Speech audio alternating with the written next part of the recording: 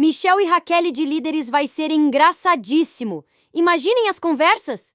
O Brasil deve ter vibrado, né, amigo? Acho que a gente tá forte nível Estados Unidos.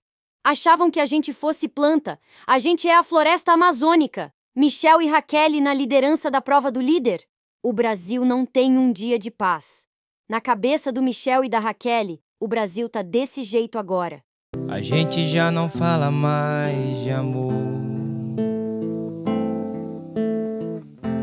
Gente já não liga mais pra nada.